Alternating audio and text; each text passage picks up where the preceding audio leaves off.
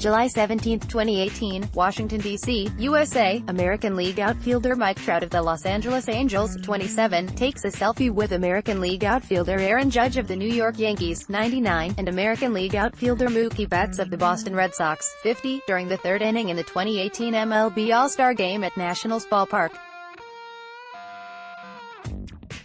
Mandatory credit, Tommy Gilligan USA Today Sports, Tommy Gilligan, for the second straight year, Aaron Judge of the Yankees has been ranked as MLB Network's top right fielder in baseball. And this time, he topped the reigning MVP. Judge took the honors over Mookie Betts of the Red Sox even though Betts tore up the sport in 2018, hitting .346, .438, .640 with 32 homers, 47 doubles, and 30 stolen bases in 136 games, while continuing to be one of the best defensive right fielders in the game. Like Betts, Judge was limited by injury in 2018. He played in just 112 games due to a broken wrist, hitting .278, .392, .528 with 27 homers and 22 doubles, and 6 steals. The MLB Network rankings take into account player performance over the last two seasons, offensive and defensive metrics, advanced StatCast data, traditional stats, and expert analysis by the MLB Network research team, which can help explain why Judge was ranked over Betts. Over the last two seasons, Judge has hit .282, .409, .584 with 79 homers and 46 doubles in 267 games. During that same span, Betts has hit .301, .388, .541 with 56 homers and 93 doubles in 289 games. Judge will hit elite pitching. He will turn around anybody, the nastiest stuff, MLB Network's Brian Kenny said while debating the ranking with Cliff Floyd, who preferred Betts.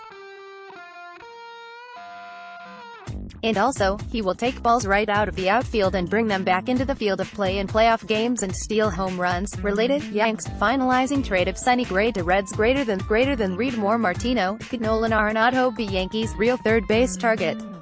Greater than greater than read more related. What's next for Yankees after Adam Ottavino agreement? Greater than greater than read more. New York Yankees starting pitcher, Sonny Gray delivers a pitch during the first inning of a baseball game against the Baltimore Orioles, Friday, June 1, 2018, in Baltimore.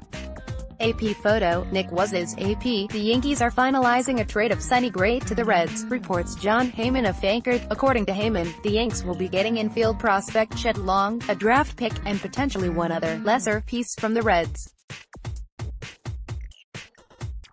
Long is the seventh-ranked prospects in the Reds farm system. September 29, 2018, Denver, Colorado, USA, Colorado Rockies, third baseman Nolan Arenado, 28, fields and throws to first for an out in the fourth inning against the Washington Nationals at Coors Field.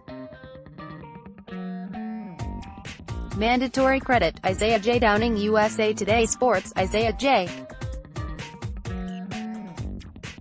Downing, Chris Carelli, SNY, TV, Facebook, Twitter, About Me, archives spring training approaches. There are still some roster decisions in front of the Yankees as they try to push to the head of the pack in the American League in the chase for a 28th World Series title. Here is an update of rumors surrounding the Yankees' pursuits, followed by my take on how things currently stand and may shake out.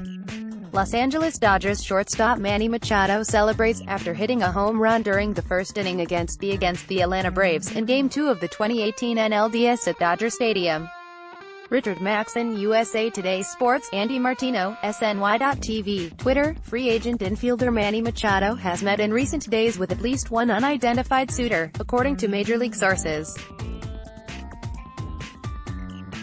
There are at least two mystery teams pursuing Machado, in addition to the Phillies and White Sox.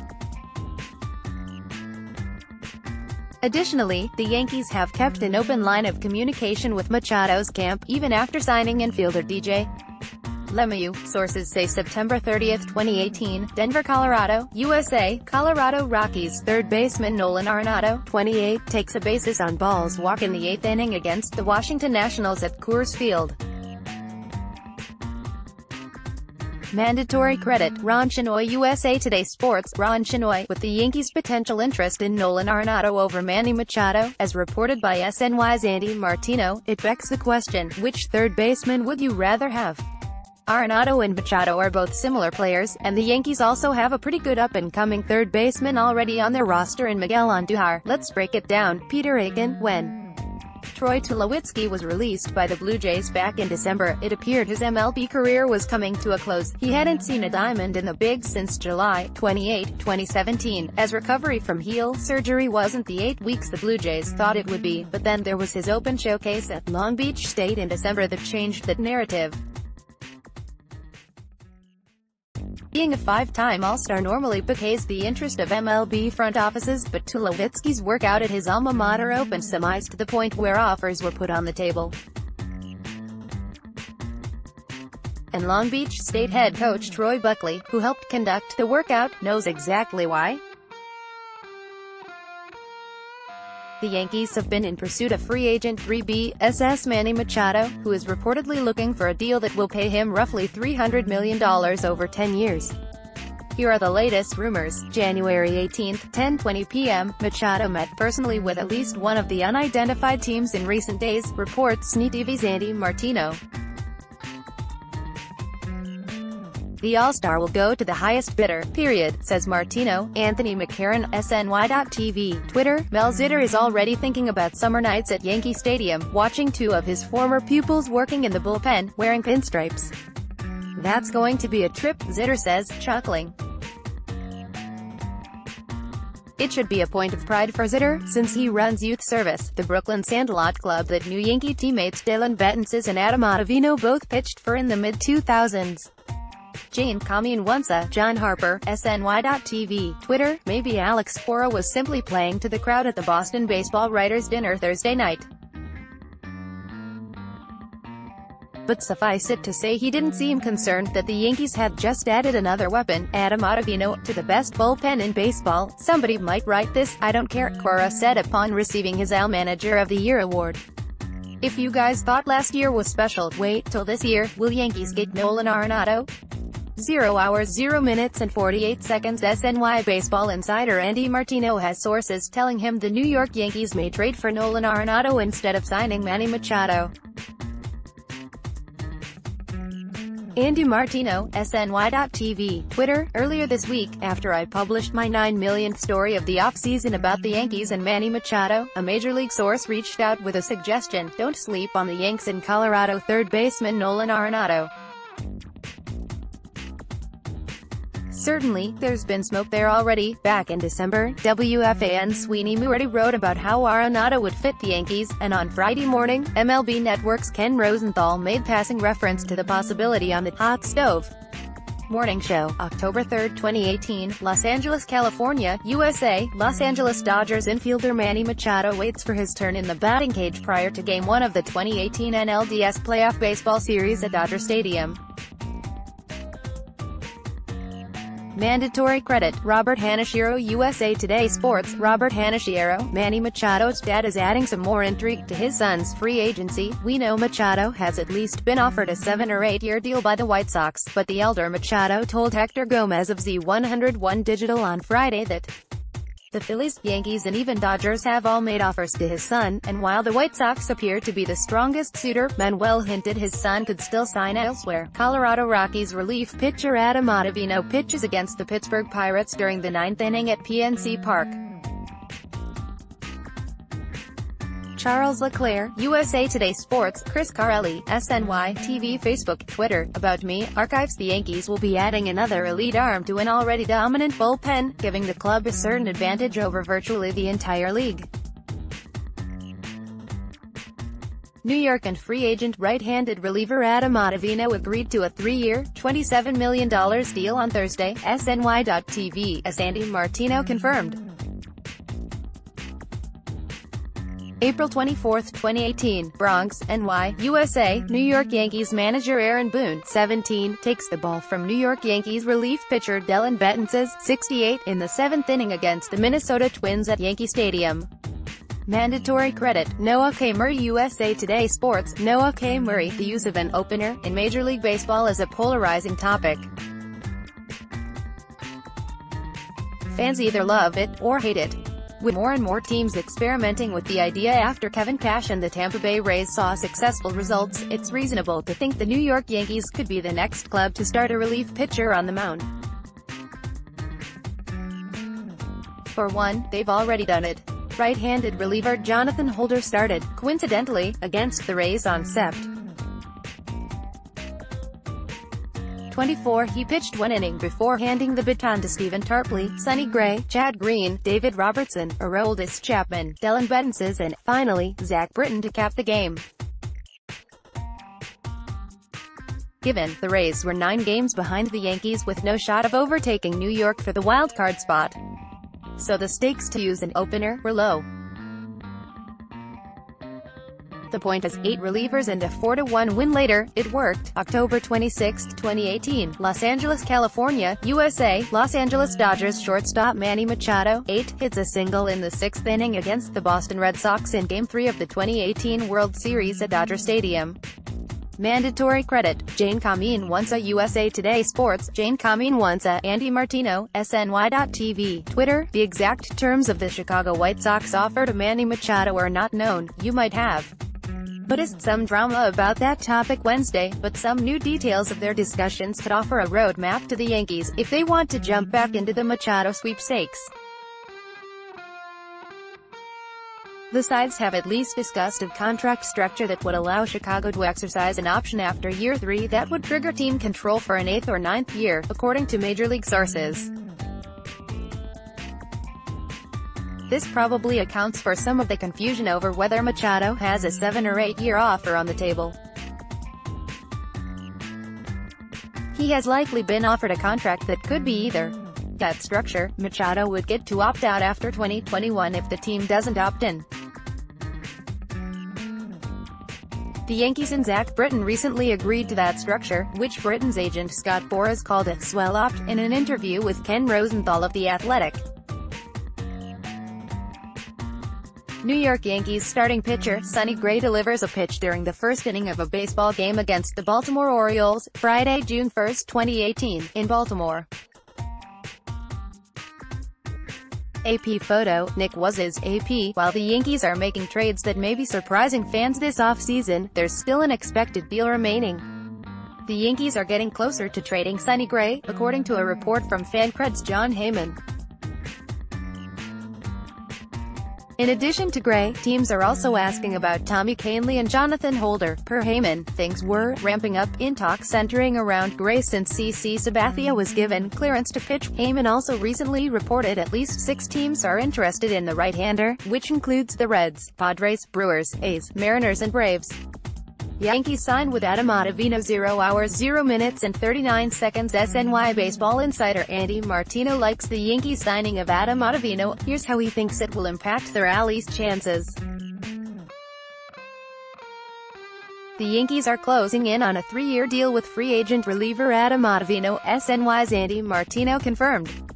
The deal will be worth $27 million over three years. Ottavino is coming off a huge season where he had a 2.43 ERA, 2.74 FIP, and 112 strikeouts in 77.2 innings, or a 13K, 9 ratio and did it while pitching his home games hitter-friendly Coors Field with the Rockies. His 0.99 whip in 2018 was much improved from a 1.63 whip with a 5.06 ERA in 2017. New York Yankees designated hitter fielder Clint Frazier doubles during the seventh inning at Kauffman Stadium. Peter Aiken, USA Today Sports, Yankees outfielder Clint Frazier tweeted he has been cleared for spring training and hopes to win a spot on the Major League roster after he missed most of the 2018 season due to concussion-like symptoms. Why aren't Yankees spending 0 hours 0 minutes and 33 seconds Sweeny Murti goes in depth as to why he believes the Yankees are being cautious about spending money on Bryce Harper and Manny Machado. Yankees fans have been a bit confused this offseason, as GM Brian Cashman has been relatively quiet with the moves he has made. Instead of spending on players like Bryce Harper and Manny Machado, he has instead signed names like Troy Tulowitzki and DJ LeMahieu to fill in the gaps. Normally, New York is the team that goes after the big shots on the market, but why hasn't that been the case this offseason? Sweeny Murti explains how the Yankees' recent success these past two seasons has kept Cashman's checkbook in his pocket instead of hashing out the big deals. September 15, 2018, San Francisco, California, USA, Colorado Rockies infielder DJ LeMahieu, 9, looks to throw the ball during the seventh inning against the San Francisco Giants at it. Mandatory credit, Keel Maddox USA Today Sports, Keel Maddox, newest, Yankees infielder DJ LeMahieu was introduced on Wednesday during a conference call with the press. The three-time Gold Glove Award winner agreed to a two-year deal with the Yankees on Friday. Here's what we learned about the All-Star's upcoming role in the Bronx. All signs point to LeMahieu serving as a super utility man the possibility of LeMahieu playing in multiple positions for the Yankees next season is high. New York told the infield to bring a lot of gloves to spring training, according to the Athletic's Lindsey Adler. Although LeMahieu has only patrolled second base since 2015, he said he's comfortable playing shortstop, which will aid the Yankees while Didi Gregorius recovers from surgery. March 11, 2018, New York, New York, USA, a general view of Yankee Stadium before the game between the New York City and the Los Angeles Galaxy. Mandatory credit, Vincent Carchietta USA Today Sports, Vincent Carchietta, the Yankees made a trade with the Diamondbacks on Wednesday, acquiring LHP Ronald Roman and cash considerations in exchange for minor league of Tim Locastro, for MLB Network's Mark Feinsand. New York designated Locastro for assignment earlier this week to make room for DJ LeMahieu, and instead of letting him walk, they were able to get a return. Roman is a 17-year-old Dominican Republic product the D-backs acquired as an international signee last year. Roman has yet to play a professional game, while Locastro has been playing in the minors since 2013 when he was drafted by the Blue Jays. In AAA last season he owned a .279 average with 4 homers and 25 RBI. Chris Carelli, SNY, TV Facebook, Twitter, About Me, Archives, Manny Machado was supposed to help the Yankees surpass the Red Sox. He's apparently not coming, and neither is Bryce Harper, so the Yanks should double down on their strongest facet, the bullpen. If the Yankees want to measure up to the Red Sox, they must possess an advantage somewhere on the roster that unequivocally distances the World Series champs. Adding one more elite reliever, like Adam Ottavino, should make it next to impossible for the Red Sox to catch the Yankees in that department even if Boston re-signs Craig Kimbrel. Boston arguably has a slight edge in the rotation and the offenses are quite similar in strength but the overall scale could tip toward New York if the Yanks add to an already dominant bullpen. Much has been made about the Yankees coming up short in the offseason if they're unable to secure Machado or Harper. Expectations were high that one of the two 26-year-old stars would become part of the Yankees after the team reset their luxury tax rate. Adding Machado or Harper would have clearly pushed the Yanks' offense ahead of Boston's. October 7, 2018, Denver, Colorado, USA, Colorado Rockies second baseman DJ LeMahieu, 9, hits a double during the third inning against the Milwaukee Brewers in Game 3 of the 2018 NLDS Playoff Baseball Series at Coors Field. Mandatory credit, Russell Lansford USA Today Sports, Russell Lansford, it's not just his gold glove the Yankees like about DJ LeMahieu. The Yankees' internal data suggested LeMahieu was undervalued offensively, according to Ken Rosenthal of The Athletic. His elite defense and superior makeup are bonuses for New York, which signed the former Colorado Rocky to a two-year, $24 million contract. March 11, 2018, New York, New York, USA, a general view of Yankee Stadium before the game between the New York City and the Los Angeles Galaxy.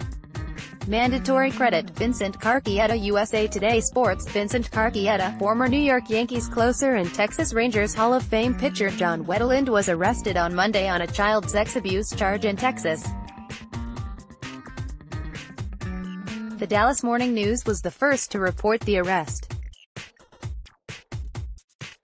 Wetteland, 52, is accused of continuous sexual abuse of a child under the age of 14, according to Denton County Jail records. He posted a $25,000 bond and was released from custody on Monday, the same day as his arrest. New York Yankees former player Mel Stottlemyre is introduced during the 66th annual Old Timers Day game at Yankee Stadium. Brad Penner U.S. Press Wire, John Harper, SNY.TV, Twitter, Mel Stottlemyre always seemed to be at peace with the fact that he came along at the wrong time in Yankee history, an all-star pitcher on many bad teams during one of the longest championship droughts the franchise has ever known. I was always too blessed to think of it that way, Stottlemyre told me once. Even after being diagnosed with multiple myeloma, the blood cancer that he succumbed to on Monday at age 77, Stottlemyre had the relentlessly positive outlook of a man who was grateful for his lot in life, as a major league player and then coach with five world championship rings. Harper, McCarron share Hall votes 0 hours 0 minutes and 54 seconds SNY's John Harper and Anthony McCarron debate their votes on whether Barry Bonds and Roger Clemens should be enshrined in Cooperstown. John Harper, SNY.TV, Twitter, even with four newly elected Hall of Famers off the ballot, and my anti-Ped stance firmly in place regarding Barry Bonds or Roger Clemens, I still voted for 10 players this year, the sixth straight time I've used the maximum number of spots allowed, so yeah I guess I'm officially a big Hall guy now, after years of thinking small Hall was the way to go. And I'm okay with that. Not that I'm good with Harold Baines being elected by a 16-person committee in December, but I do believe that for years baseball writers as a whole tended to take too much pride in making the Hall of Fame more exclusive than those in other sports, at the expense of rewarding excellence. New York Yankees pitcher CC Sabathia throws the ball during workouts one day before the 2018 American League wildcard game at Yankee Stadium. Danielle Parhizkaran slash NorthJersey.com via USA Today Sports, Yankees LHPCC Sabathia was just having a catch with teammate Dellin Betances when he began to feel shortness of breath. He knew something was up. For me, Sabathia told Yes Network's Ryan Ruocco, normally, I can run, swim, do whatever, elliptical for however long. My cardio's normally really good. So for me to have shortness of breath playing catch, I knew something was up. The 38-year-old Sabathia would undergo an angioplasty to clear a blocked artery in December, a heart procedure he is expected to recover fully from. Mariano Rivera pitched a scoreless ninth inning. AP Anthony McCarron, SNY.TV, Twitter, let's start the discussion of my 2019 ballot for the Baseball Hall of Fame with an easy one. Mariano Rivera, the greatest closer in history, gets my vote en route to enshrinement. Any objections? No, that won't last long. Mel Stottlemyre passes away 0 hours 0 minutes and 58 seconds. SNY's John Harper and Anthony McCarron reflect on the life and legacy of Mel Stottlemyre. Former Yankees and Mets pitching coach Mel Stottlemyre died at age of 77 at his home in Seattle on Sunday night, as first reported by Bill Madden of the New York Daily News. Stottlemyre had endured a long battle with bone marrow cancer. He won a World Series as Mets pitching coach in 1986 and won four World Series as pitching coach for the Yankees from their title run between 1996 to 2000. Los Angeles Dodgers shortstop Manny Machado celebrates after hitting a home run during the first inning against the against the Atlanta Braves in Game 2 of the 2018 NLDS at Dodger Stadium. Richard Maxson USA Today Sports, Andy Martino, SNY.TV, Twitter. For months, it's been clear through sources that while the Yankees like Manny Machado as a player, they don't plan on outbidding aggressive teams like the Phillies and White Sox. Now, word comes from a person with direct knowledge of Machado's thinking that he plans to choose the team that makes the highest offer.